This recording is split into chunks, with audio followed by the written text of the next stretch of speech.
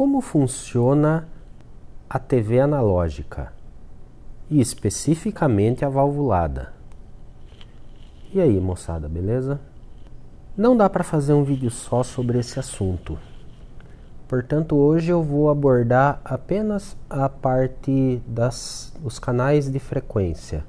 Por que, que a gente aborda um assunto que já nem existe mais, né? A TV analógica não existe mais no Brasil está em processo de extinção no mundo inteiro. Bom, nós gostamos de coisas antigas e tecnologias antigas atraem a atenção pela solução que foi dada na época. E esse canal, como é dedicado mais aos assuntos valvulares, e eu sei que tem colecionador de TV e que gosta de ter a sua TV funcionando, eu vou fazer alguns vídeos, portanto, não sei quantos ainda, vai, vai saindo, sobre o assunto. Para começar, a TV analógica no Brasil utilizava na transmissão essas frequências que aparecem aí. Aliás, o material desse livro que eu estou mostrando a capa para você é muito interessante, muito bacana. Eu já li ele inteirinho e ele é uma das bibliografias utilizadas aí para essas informações. Também outras informações relativas a esse vídeo, eu estou deixando os links abaixo inclusive links da Anatel, que é a Agência Nacional de Telecomunicações, onde controla as licenças e as frequências utilizadas no Brasil. Veja só, nós temos aqui os canais 2, 3 e 4, que vão de 54 MHz até 72 essa frequência de 54 a 72, eu não encontrei nenhuma informação firme ainda, alguma informação que dissesse para que será utilizado essa faixa, já que agora ela está disponível. O que eu li a respeito é que não há interesse de colocar nada de TV digital nessa faixa, porque ela não vai permitir a qualidade desejada. De 72 até 76 MHz tem um espaço aí destinado a diversos meios de comunicação. Se você olhar aqui no gráfico da Anatel, especificamente nessa faixa está reservado uma série de emissões aqui, como radionavegação, radioastronomia, serviço móvel, serviço fixo. Aliás, quando foi colocada os canais de TV, eles tiveram que achar buracos no meio das frequências para encaixar as, os canais. Portanto, de 2 a 4, as frequências mais baixas aí praticamente encostado no ondas curtas, depois os canais 5 e 6, que vão de 76 a 88 MHz, logo após essa faixa reservada, hoje para o Brasil é a faixa estendida de FM. Exatamente nesse espaço é uma, uma janela de 12 MHz que foi aberta para as novas emissões de frequência modulada já existem rádios à venda no Brasil, inclusive existe lei relativa à exigência que os aparelhos em FM tenham a cobertura nessa nova faixa. Portanto, o FM brasileiro agora é de 76 MHz até 108 MHz. Seguindo, você vê que depois do 108 MHz, que é o FM, até os 174 MB existe também uma série de frequências reservadas a diversos tipos de comunicação, como comunicação aérea do, dos aviões, né, comunicação de satélite, comunicações de emergência, ou seja, existe uma reserva aqui de frequências para diversas aplicações. O canal 7 volta, aparece só em 174 MHz, e aí nós temos uma linha direta até 216 MHz. Toda essa faixa agora está livre e por enquanto, até o momento, eu não sei qual será a aplicação, o que a Anatel vai reservar para essa faixa de frequência. Você vê que cada canal aqui tinha uma faixa, um espaço de 6 MHz para cada um, era a faixa de emissão, onde aparece PI é a portadora de imagem, a frequência portadora, e PS a portadora de som. E isso era a transmissão em VHF dos canais de 2 até o 13. Surge uma curiosidade: por que não existe ou não existia o canal 1? Historicamente, quando foi, foi feita a, a convenção para acertar as frequências, o canal 1 acabou caindo muito, numa frequência muito baixa. Existe até uma lenda, e como é uma frequência muito baixa, tá, em, em ondas curtas, ele era possível de sintonizar a centenas de quilômetros de distância. Com a, o aumento das TVs, surgiu a faixa de UHF, né? teve bastante gente que tinha o conversor de UHF em casa. Eu tenho um, inclusive. E essa faixa sofreu uma alteração importante na atribuição aqui de canais de frequência. Os canais, a UHF começa, veja que ele começa aqui em 470 MHz Antes disso, tem tudo quanto é tipo de comunicação, satélite, industrial.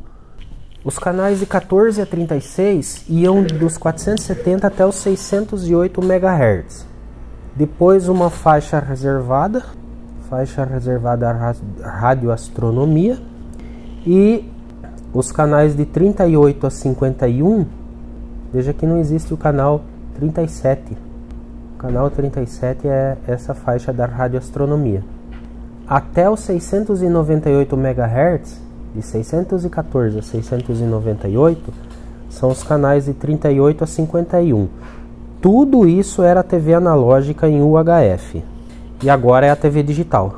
É o espaço para a TV digital.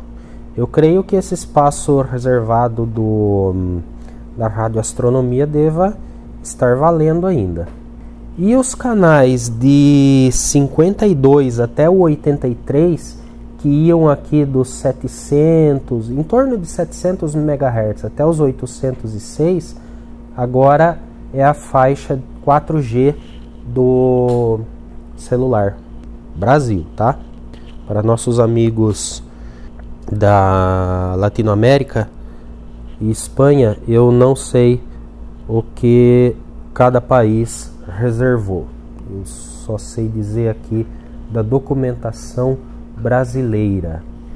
Inclusive, existia nessa faixa, em torno dos 700 MHz, a utilização de microfone sem fio, fabricado até por grandes empresas.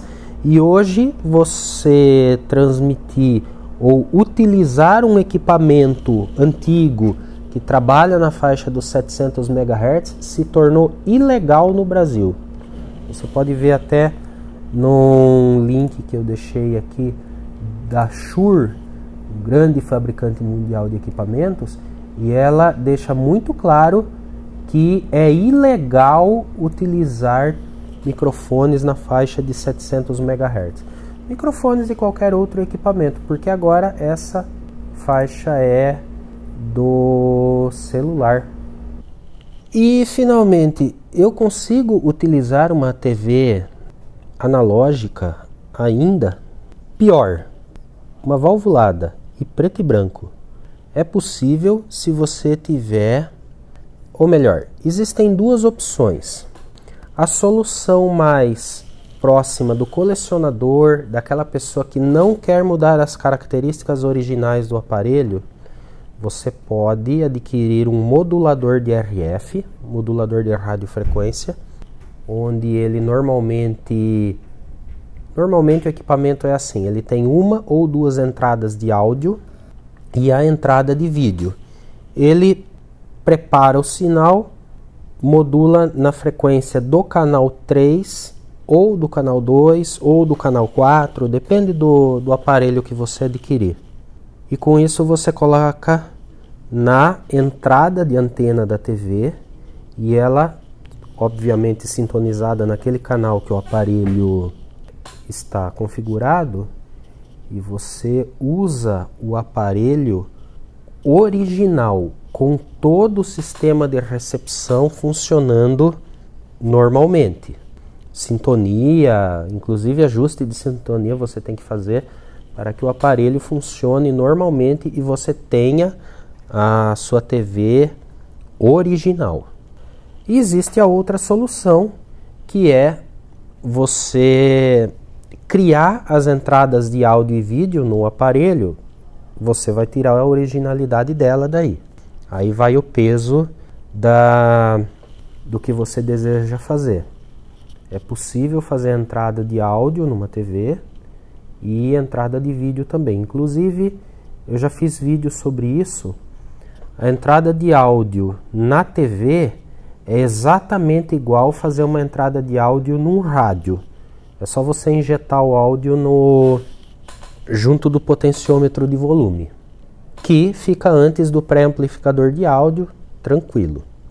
E a injeção do sinal de vídeo você coloca exatamente depois do detetor de vídeo.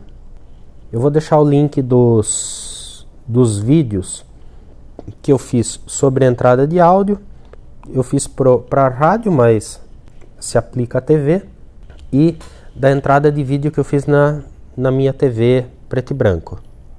E aí você vê essa segunda opção. Essa opção é mais tecnológica, tem que ler esquema eletrônico, né? Não é qualquer pessoa que consegue fazer. Tem que ter um conhecimento razoável de, de circuito eletrônico, de interpretação de circuito para saber onde está o detetor de vídeo. Não é todo circuito que é amigável e diz que o detetor está numa determinada posição, certo? Você vê nesse diagrama de blocos uma síntese do que é a TV preto e branco. E por enquanto é isso senão o vídeo vai ficar longo e cansativo demais. No próximo eu vou conversar com você um pouco mais sobre o canal de TV, como que era a distribuição do áudio e vídeo dentro desse espaço de 6 MHz. E aí nós vamos entrando dentro do aparelho, o sintonizador, o seletor de canal, ah, tudo que é até muito parecido com o aparelho de rádio. Ele tem normalmente um amplificador de radiofrequência, um circuito oscilador local, misturador, frequência intermediária. Nós vamos analisar o passo a passo aí de um circuito típico de TV para conhecer mais esse assunto que com certeza é, é digno de grande admiração nossa pela tecnologia utilizada, pelas décadas que sobreviveu e para os colecionadores que querem conhecer mais o que tem dentro do seu próprio aparelho. Se você gostou desse vídeo, dá um joinha aí, se inscreve no canal se não tiver inscrito. Eu vi quase nada de informação sobre TV analógica no YouTube. Então a gente vai ser meio que exclusividade aí. Dê sugestões aí para de coisas que a gente deve abordar nesses, nesses vídeos. Eu vou colocando na medida do possível. Um grande abraço e até o próximo vídeo.